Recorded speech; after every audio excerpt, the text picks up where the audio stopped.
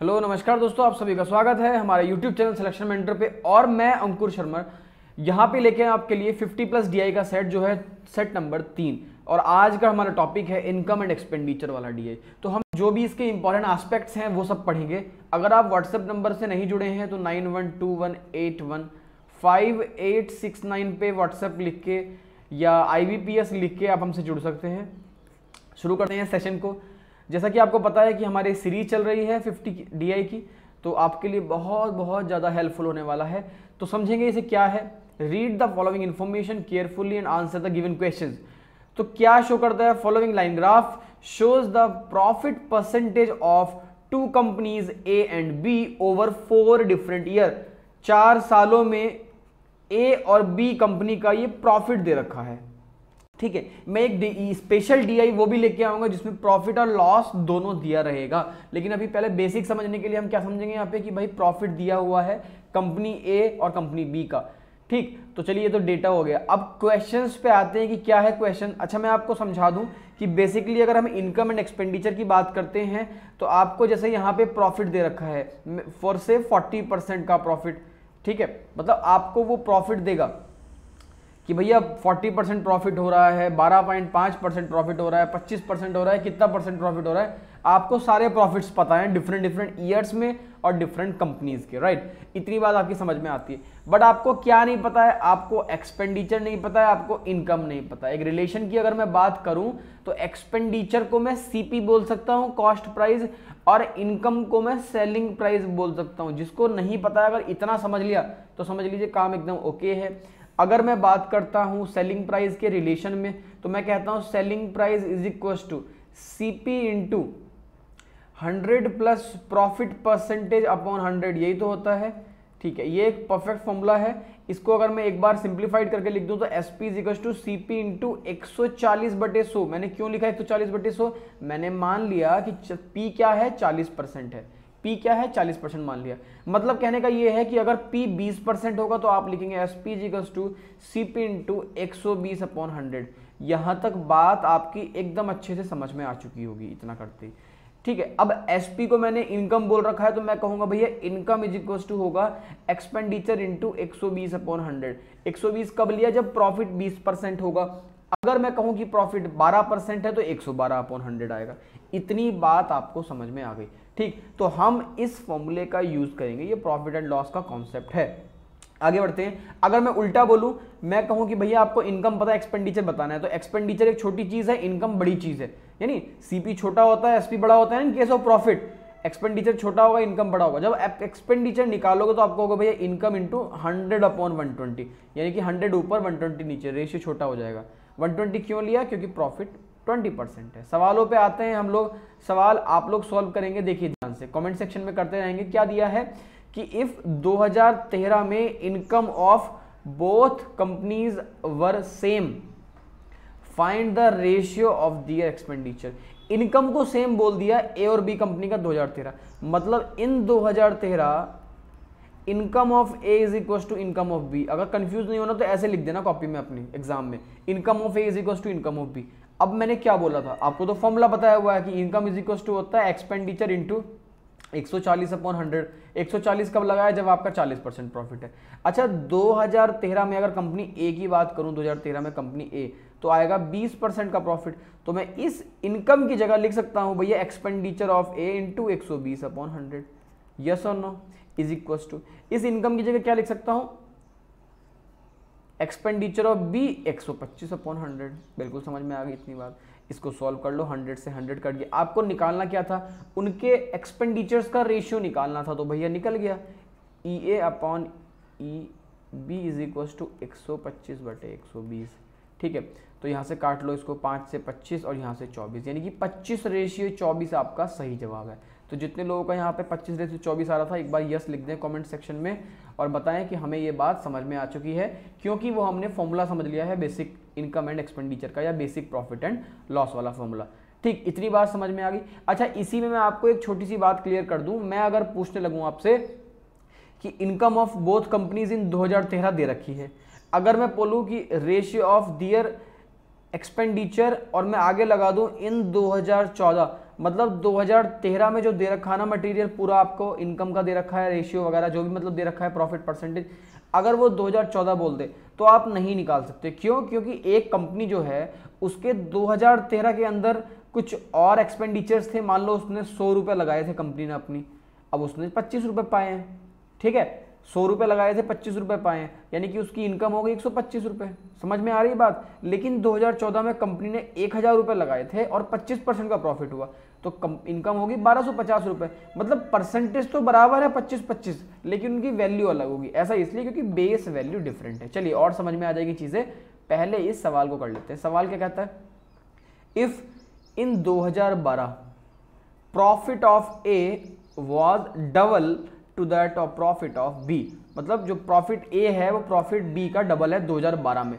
तो सबसे पहली बात तो है, ऊपर लिख दो 2012 कंफ्यूज ही नहीं होना है। 2012 की ही बात है। अब प्रॉफिट ऑफ़ ए रुपीज़ में डबल है किसके? प्रॉफिट ऑफ़ बी के। मैंने क्या बोला? रुपीज़ में। रुपीज़ में बोलने का मतलब अभी तो मैंने ऊपर समझाया था। क्या समझाया था ऊपर? कि भैया, यहाँ 25 परसेंट प्रॉफिट हुआ तो आपने कहा पच्चीस रुपए का प्रॉफिट हुआ। लेकिन यहाँ 25 परसेंट प्रॉफिट हुआ तो आपने कहा ढाई सौ रुपये का प्रॉफिट हुआ। इसका मतलब है कि वैल्यू रुपए में अलग होगी, भले से परसेंटेज सेम हो। ठीक? क्योंकि उनका एक्सपेंडिचर यानी बेस वैल्यू डिफरेंट है। अब यहाँ समझ लो आप मेरी बात कि भैया प्रॉफिट ऑफ़ ए है, दुगना है प्रॉफिट ऑफ़ बी के। लेकिन हम लोगों को परसेंटेज में डिफरेंट डिफरेंट पता है। अच्छा 2012 में अगर मैं बात करूँ प्रॉफिट परसेंटेज की तो कैसे निकालेंगे यहाँ पे? अब कैसे करेंगे हम? सीधी सी बात है, मैं ऐसा एज्यूम कर लूँगा। देखिए कंपनी भी अलग अलग है ईयर अलग अलग है। तो जो उनके एक्सपेंडिचर है, उनको मैं अलग अलग मानू अच्छा पूछा क्या है? Find the ratio of their expenditure देखिए रेशियो ही पूछा है। तो कंपनी ए का रेशियो में एक्सपेंडिचर मैंने एक्स मान लिया या ई e ए मान लो। ई e ए सही है ना? और कंपनी बी का कितना है एक्सपेंडिचर ई बी ये तो लिखने की ज़रूरत नहीं ऐसे ही पता है। अच्छा मैं बोलूँ अगर कि भैया कंपनी ए में कितना प्रॉफिट कमाया? तो कंपनी ए का एक्सपेंडिचर ई ए था कंपनी बी का ई e था। तो जब ए की बात करूँगा तो वो कहेंगे, भैया, चालीस परसेंट ऑफ़ इतना कमाया। कितना कमाया? कि इसका चालीस परसेंट कमाया। इसका चालीस, इसके प्रॉफिट कितना है? चालीस परसेंट ऑफ़ एक्सपेंडिचर यही तो प्रॉफिट है। चालीस परसेंट ऑफ़ एक्सपेंडिचर प्रॉफिट है। ठीक है। इज़ इक्वल्स टू दुगना इंटू बारह point percent of E B ठीक। बारह पॉइंट पाँच परसेंट ऑफ़ ई बी इतनी बात तो आपको समझ में आ चुकी बहुत इजी है, एक ही लाइन में मैंने खत्म कर दिया इसको। परसेंटेज से परसेंटेज खत्म कर दो आप लोग भी। बारह पॉइंट पाँच को दो से मल्टीप्लाई कर दो, पच्चीस। तो यहाँ पे आ गया चालीस ई ए इज़ इक्व टू पच्चीस ई बी तो E A upon E B कितना आ गया भैया? पच्चीस अपॉन चालीस, पाँच से काट दो। कितना जाएगा? पाँच पाँच बार और ये आठ बार, यानी कि पाँच अपॉन आठ। तो रेशियो आ गया फाइव रेशियो एट अगर आपको ये क्वेश्चन कॉन्सेप्ट एवरीथिंग समझ में आया तो वीडियो को तुरंत पहले लाइक करो। उससे क्या होगा? आपको दिख रहा होगा वीडियोस पे वीडियोस पे व्यूज़ कम हैं, कम आ रहे हैं तो आप लोग, अगर आप हमें मोटिवेट करना चाहते हैं तो लाइक करें। फ्रेंड्स में शेयर करें, ज़रूर। ठीक है? ये सीरीज़ तभी कंटिन्यू हो पाएगी जब अच्छे से आप लोगों का रेस्पॉन्स मिलेगा।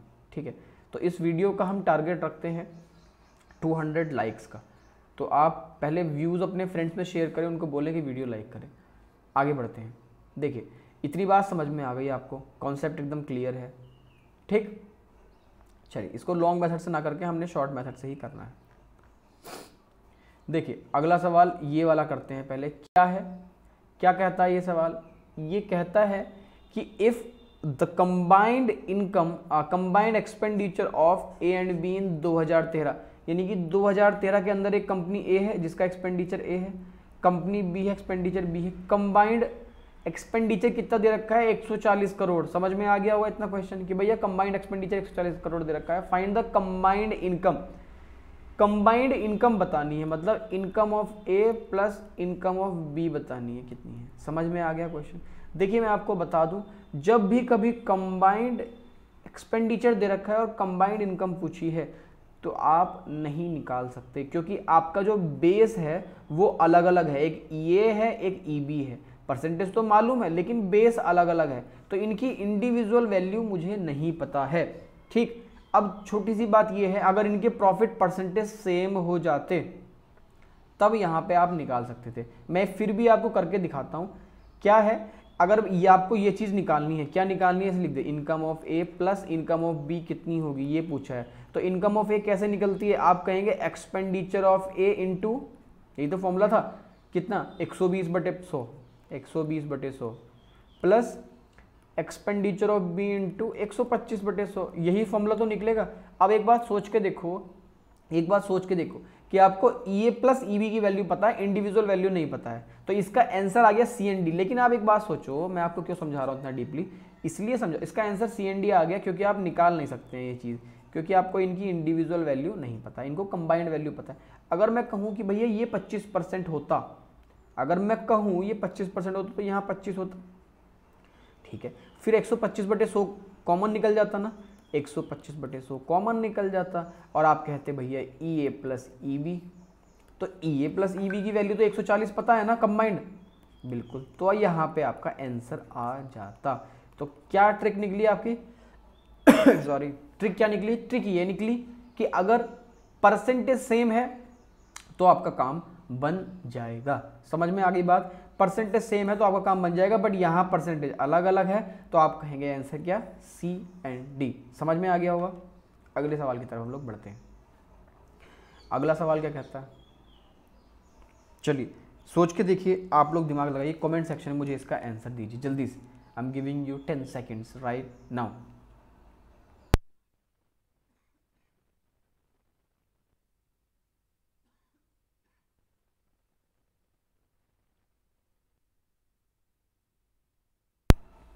जल्दी से दीजिए। देखिए, सवाल वही है, यदि कंपनी बी की 2013 की आय 2014 की आय का योग, यहाँ देखिए if the combined income of B in 2013 ध्यान से देखिए इनकम ऑफ़ बी इन 2013 उसने अलग अलग कर दिया है plus income of A in 2014 is 180 इससे फ़र्क नहीं पड़ता कि उसने इनकम दे रखी है कि एक्सपेंडिचर दे रखा है। उससे फ़र्क नहीं पड़ता। ठीक है? क्या करेंगे यहाँ पे? ये दे रखा है उसने। अब क्या बोला उसने? तो दोनों वर्षों में मिलाकर ए और बी की आय बतानी है। मतलब कहने का है कि सेम सेम चीज़ों की आपको आ, दोनों वर्षों में मिलाकर व्यय बताना है। मतलब एक्सपेंडिचर बताना है। मतलब आपको ई बी 2013 प्लस ई ए 2014 बताना। समझ में आ गया होगा सवाल।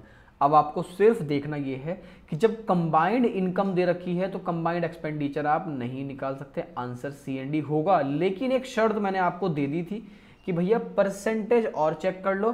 परसेंटेज अगर सेम है तो आपका काम बन जाएगा। परसेंटेज सेम है क्या? 2013 में बी की परसेंटेज कितनी है? आप कहेंगे 25 परसेंट 2014 में ए की परसेंट कितनी है? आप कहेंगे 25 परसेंट। मतलब 25-25 परसेंट है, परसेंटेज सेम है तो सी एन डी नहीं होगा। आपका तो आंसर आने ही वाला है। आंसर क्या आने वाला है? उसको समझ लेते हैं। इनकम का फॉर्मूला लगाओ नीचे। क्या आएगा? एक्सपेंडिचर ऑफ़ बी इन 2013 ठीक है? इनटू क्या आएगा? 125 बटे सौ। ऐसे तो निकलता है फॉर्मूला। प्लस यहाँ पे भी लिख लो, एक्सपेंडिचर ऑफ़ ए इन 2014 हज़ार चौदह इंटू एक सौ पच्चीस बटे सौ। इतनी बात तो समझ में आ चुकी है बराबर लिख दूँ मैं 180 क्लियर अब नीचे आ जाओ। अब क्या करें? 125 बटे सौ, एक बटे सौ तो कॉमन ले लेंगे। तो यानी कि आपका जो चाहिए, आपको वो बन गया। तो ये 100 उधर पहुँच जाएगा मतलब 180 सौ अस्सी इंटू हंड्रेड और 125 नीचे आ जाएगा। सही है? मतलब जो आपको चाहिए था वो आ गया ना इधर। और इसको सॉल्व कर लो। पच्चीस चौका सौ, पच्चीस पंजे इतना। और पाँच तिया पंद्रह, पाँच छंग तीस छः चौक चौबीस, चार तिया बारह तो चौदह। One forty four crore is the answer.